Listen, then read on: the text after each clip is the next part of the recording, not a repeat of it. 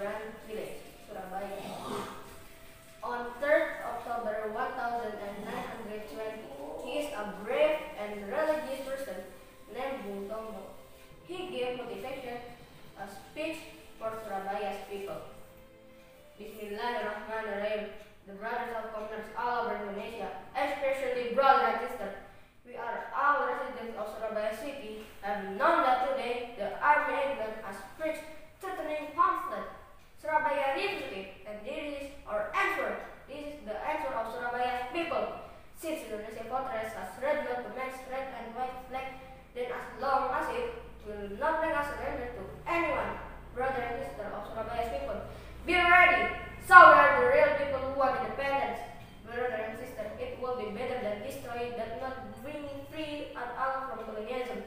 Remember our motto, free or dead, and we believe, brother and sister, for sure victory will fall in the way we see.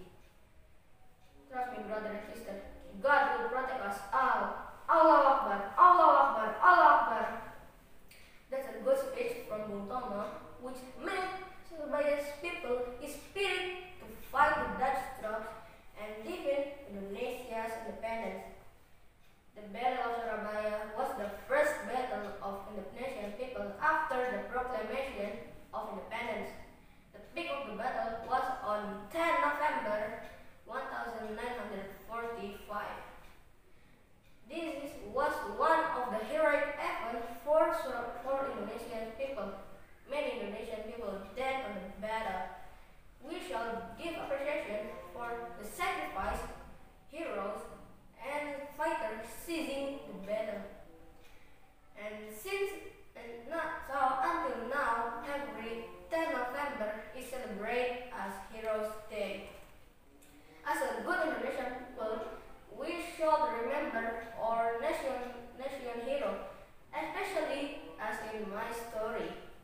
그럼요.